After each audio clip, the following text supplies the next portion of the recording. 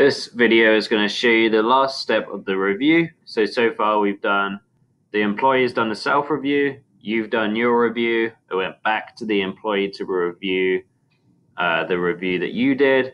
They put any comments and signed it. Now it's back on you to do the final uh, signature to close out and complete the review. So you're going to click the blue link here to go back into the review for this person.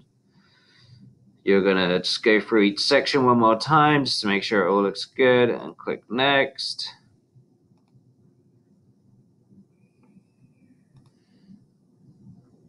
And now this is the final review.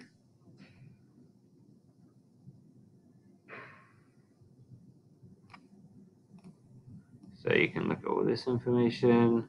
You can see any comments that the employee put when they did their final review. So you can write any comments. And when you're done, you can click sign review, and then it is complete.